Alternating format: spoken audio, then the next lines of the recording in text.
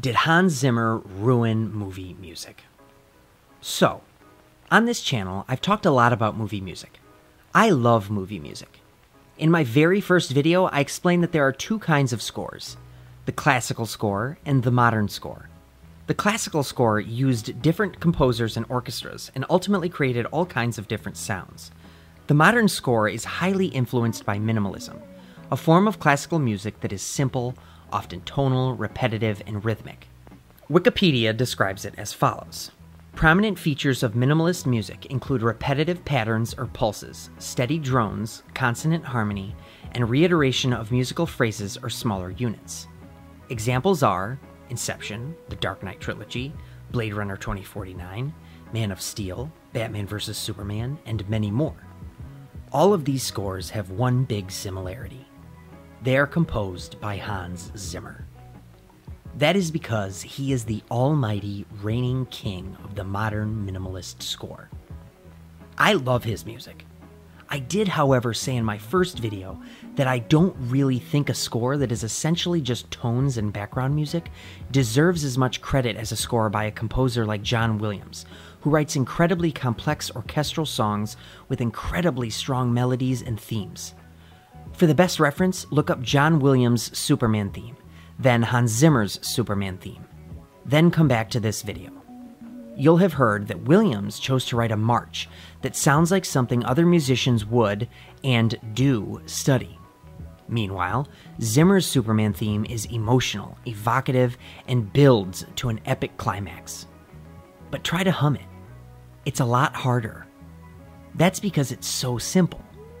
There are so few notes actually there. I love both themes and both composers. The problem of sorts is that Williams' music is fading away and being entirely replaced by music similar to Zimmer's.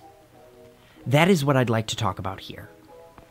Since I'm weird, I was reading the credits for the movie Something's Gotta Give. I knew the music was by Hans Zimmer and I loved it. It was light, breezy, sweet, and jazzy. Then the credits got to the music department, and I noticed that there was additional music by seven different composers. This is because when you hire Hans Zimmer, you don't just hire Hans Zimmer, you hire Remote Control Productions. Remote Control Productions is Hans Zimmer's film score company. All the composers who work there are being mentored by or working alongside Hans Zimmer. So when Hans Zimmer writes a score, all these composers help. One interviewee said that Zimmer writes all the themes. All the main pieces are by him and to be stuck to. But pieces of the movie will be allocated to different composers who are to take the theme and apply it to their section of the movie. For the record, I have no idea if this is exactly how it works, although I did read that this is exactly what was done for Pirates of the Caribbean. I actually think this is cool.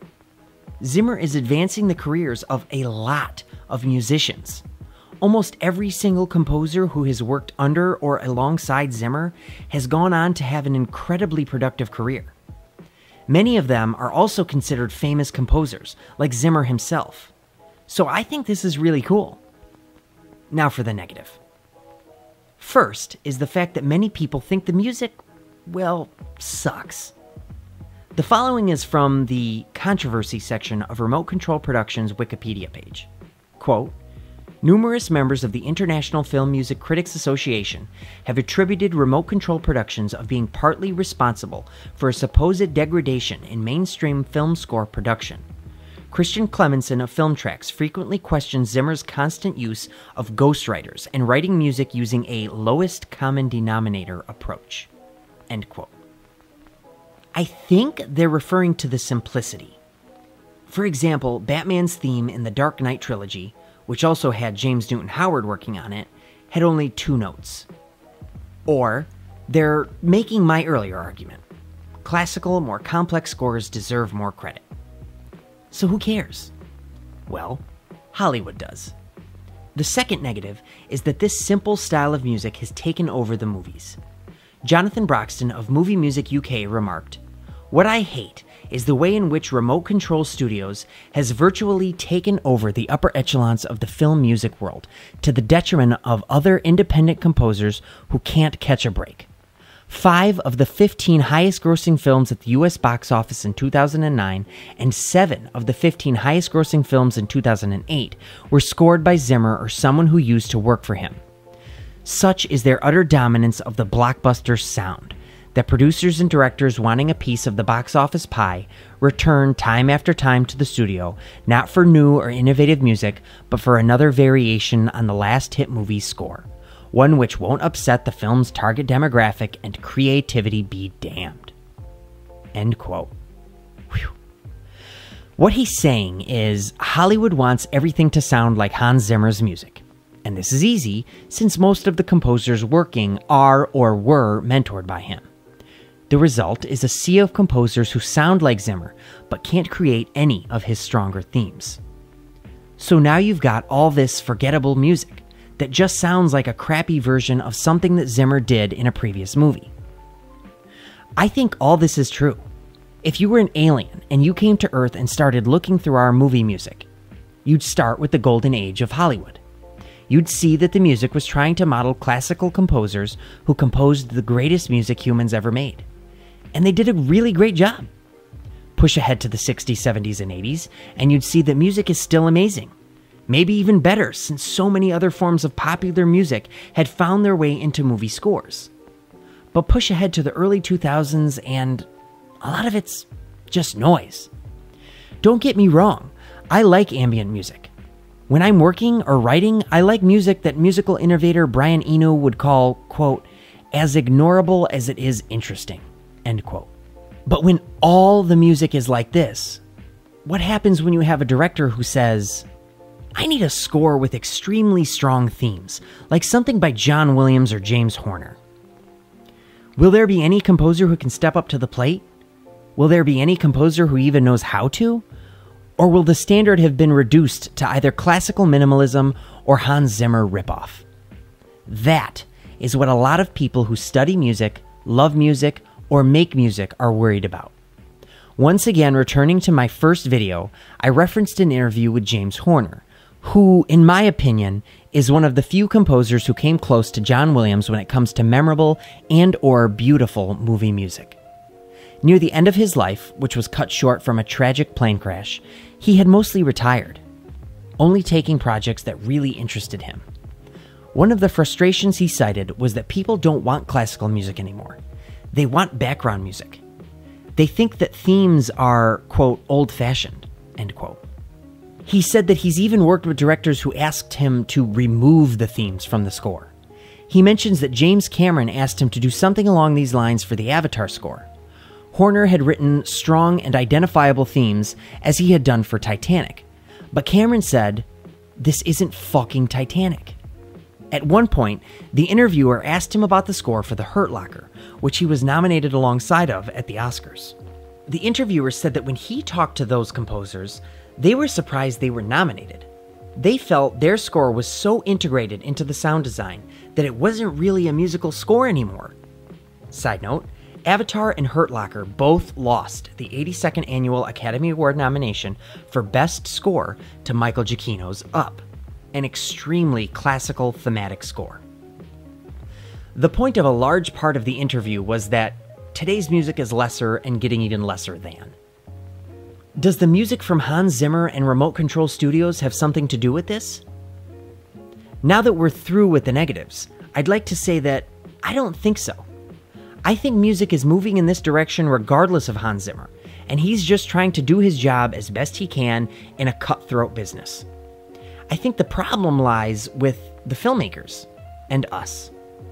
The filmmakers have pushed for simple music and we've accepted it. Between them and us, it's popular. What's adding fuel to the flame is the temp score. In one interview, Danny Elfman referred to the temp score as, quote, the bane of my existence. In fact, he quit work on Spider Man 2 because director Sam Raimi kept pushing for him to make a piece of his score more like the temp score. In case I've lost you, a temp score is the temporary score the filmmakers use to help them in editing. They then turn this cut of the movie over to the composer so that he can use this music as a guide. Basically, I want the music for this scene to sound like that. Right there is the reason so much music sounds the same. Hans Zimmer writes a phenomenal score for Inception, and then suddenly every movie has a moment where the music sounds strangely like time from the Inception soundtrack. Watch the end of Captain Phillips and see if you can spot the song. It's bordering on plagiarism. In fact, if you've listened to a lot of movie scores, it's becoming easier and easier to hear what a movie was temped with. So it's not Zimmer's fault. When the Beatles went psychedelic, everyone followed. When Michael Jackson started using a line of backup dancers in his music videos, everyone else followed. When Hans Zimmer presented a revolutionary new style of film score, everyone followed. As for him trying to do his job as best he can, I really believe this is true.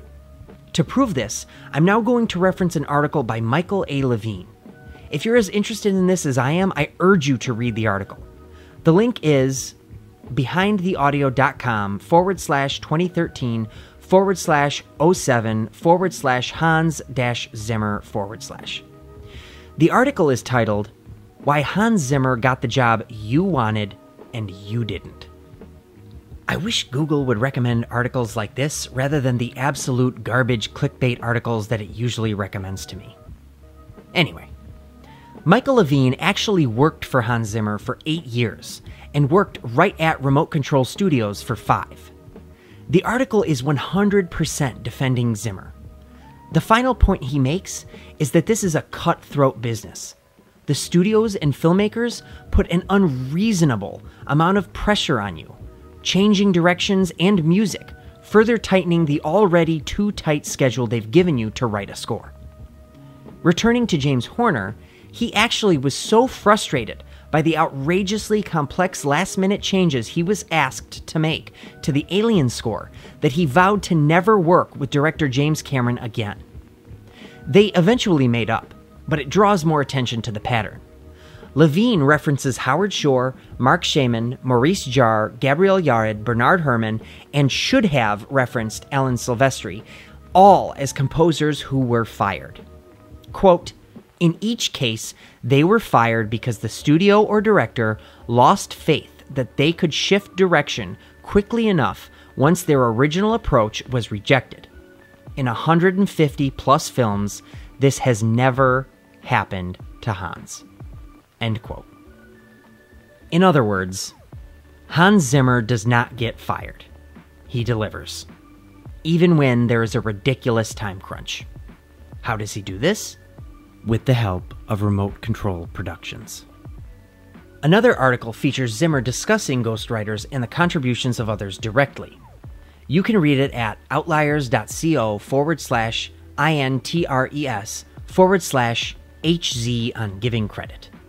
At the end of the article, he states, quote, The movie business is a cruel and shallow money trench, a long plastic hallway where thieves and pimps run free and good men die like dogs. There's also a negative side. In conclusion, I do not think Hans Zimmer ruined movie music.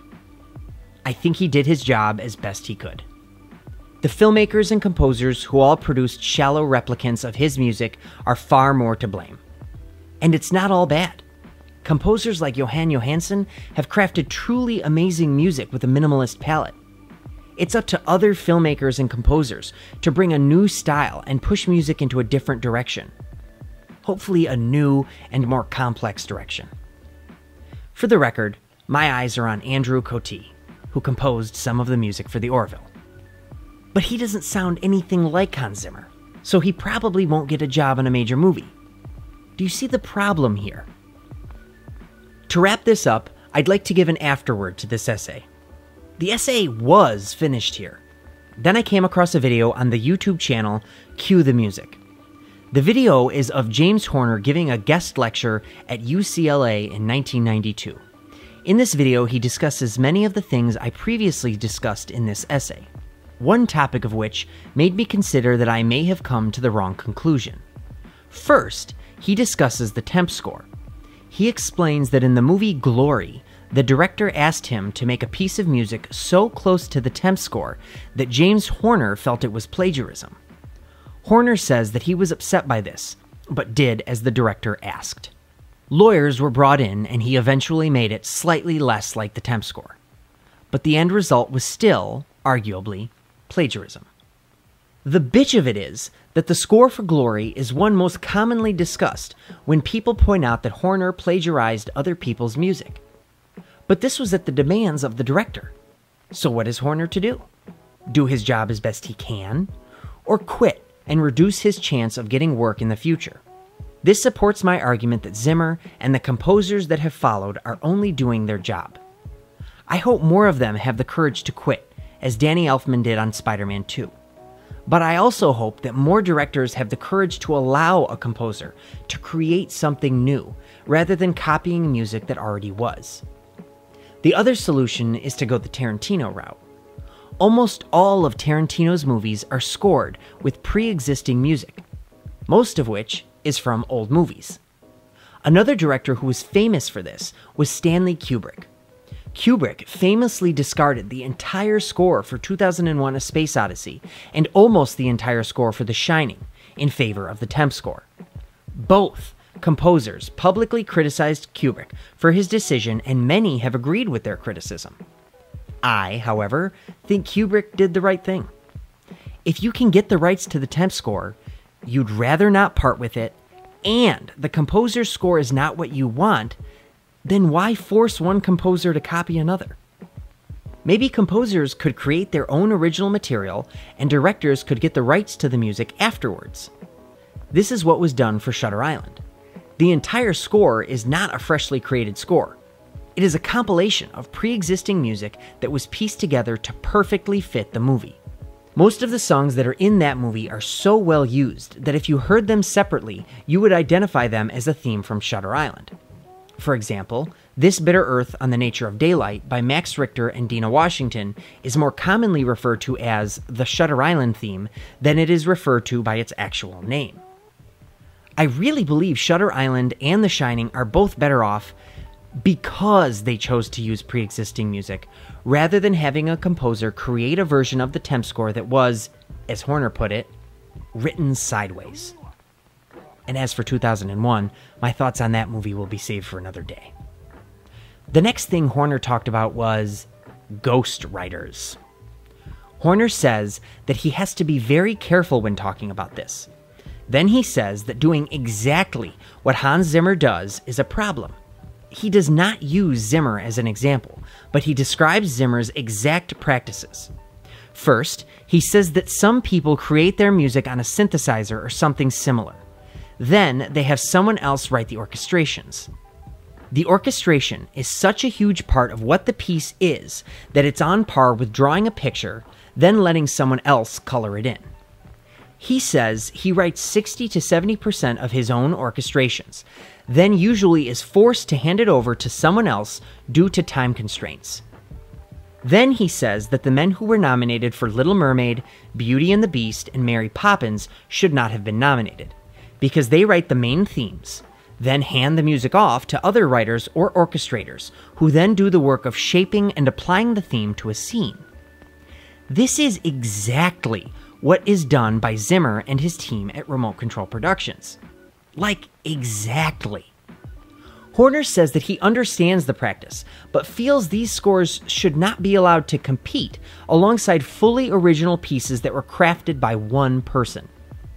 Apparently, there used to be two other kinds of awards for scores, including Best Adapted Score.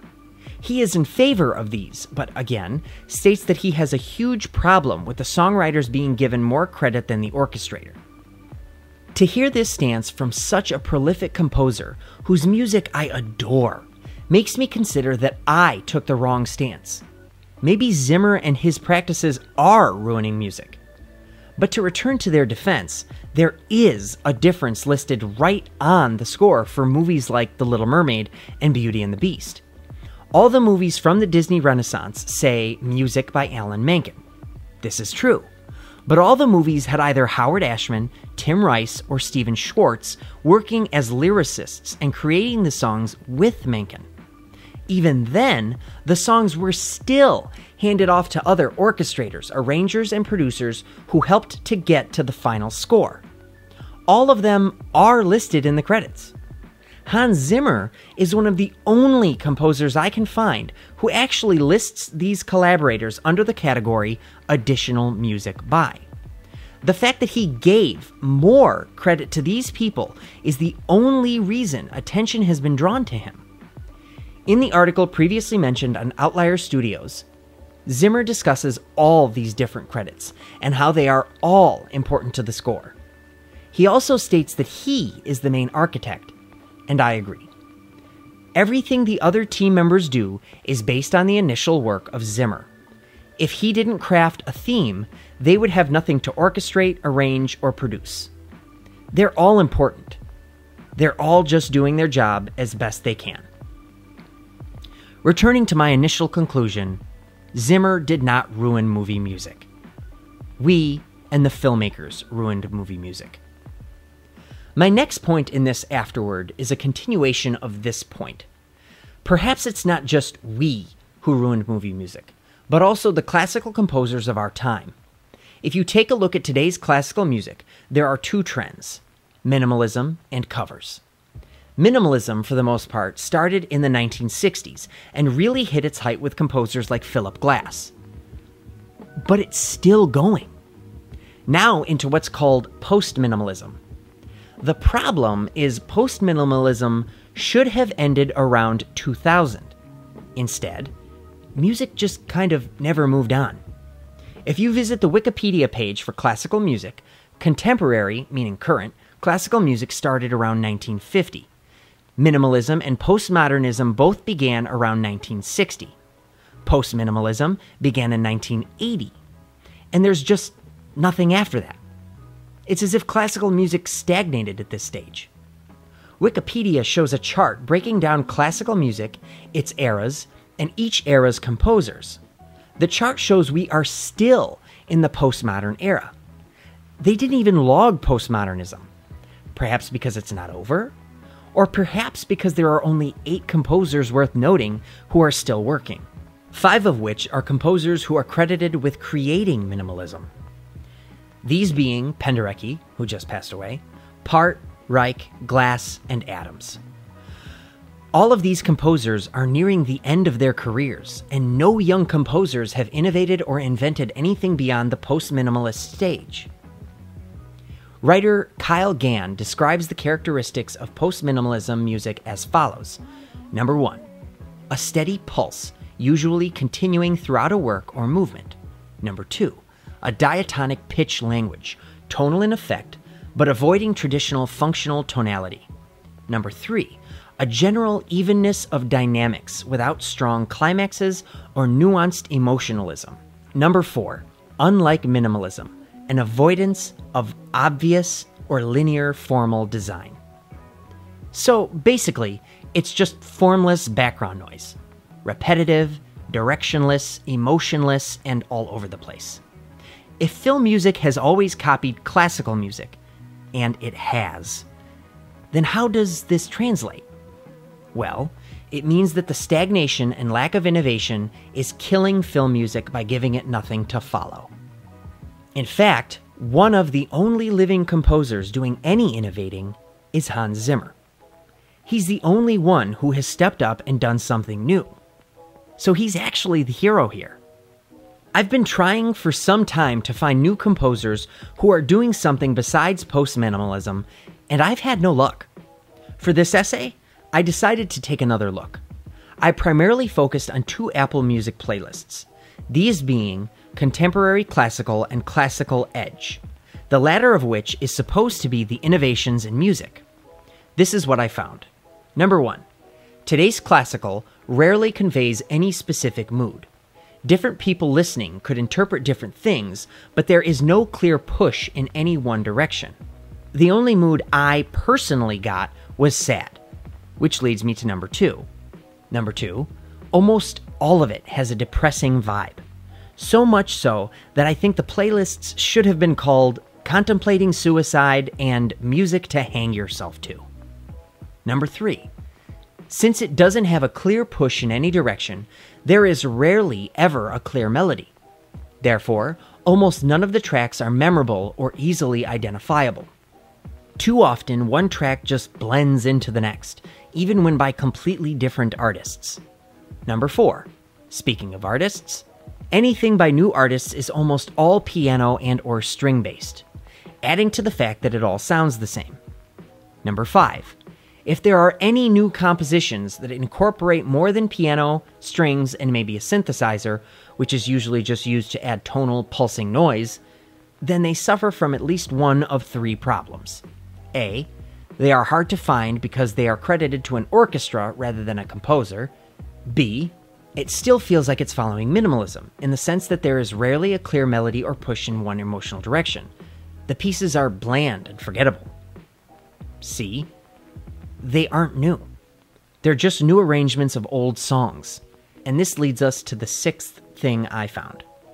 Number six, across the board, there is a disproportionate amount of covers. Almost all the work by every single modern classical music artist is a cover of pre existing music. Then this leads to number seven. The only thing that seems to be a glitter of hope is classical crossover. Apple Music doesn't even have a classical crossover playlist, so for this, I moved to YouTube Music.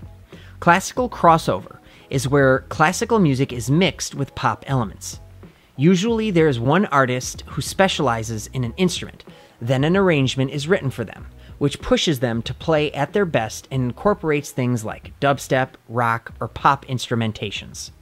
Examples are Lindsey Stirling, Black Violin, The Piano Guys, Two Cellos, and Tina Guo. Tina Guo is actually Hans Zimmer's go to cellist. She's the one who performs electric cello on the epic Wonder Woman theme. She also played in the revolutionary score Inception. If the first two Dark Knight films were the path to the throne, Inception was the score that anointed Zimmer king of the modern minimalist score. It's one of the scores, along with many of his other works, that have been repeatedly copied. After all this, my new conclusion is that Hans Zimmer not only did not ruin movie music, he saved it. Michael Giacchino's scores are beautiful and always remind you of John Williams. But he can't write a melody as complex as Williams. In fact, the only composer since Williams who can write new complex melodies was Horner. He could not escape the temp score and was so committed to treating the art form like a painter whose works appear to evolve in a clear series, with each piece slightly resembling the last, that much of his work is criticized for self plagiarism. For almost every James Horner theme, you can find it occurring again in a different score. It would be nice to have people like him, who can write all their own material, including orchestrations. But maybe the way to go is the way Zimmer went the way of the Disney score in which there are levels to the creative process. One or more people devote their time to devising strong melodies that represent themes and other elements of the story. Then other producers, arrangers, composers, and conductors are brought in to flesh out the score and apply it to the movie under Hollywood's grueling time constraints. They can even bring in amazing soloists like Tina Guo to add even more nuance. The result could be an amazing career like Zimmer's full of different melodies, themes, and motifs that are easily identifiable, evocative, and have defined the last 20 plus years of movie music. In conclusion, movie music has always followed classical music. Classical music has stagnated in post minimalism. The movies are temp scored with Hans Zimmer music, then adapted by composers who all sound like Zimmer. But Zimmer did not ruin movie music, he saved it. By showing us the success he found in his method of focusing on strong motifs and themes, then utilizing the talent of collaborators, he showed us a new path. A path that can utilize different people in one score, stop following the shadow of classical music, and allow all different people to work and function in the cutthroat business that is movie scoring.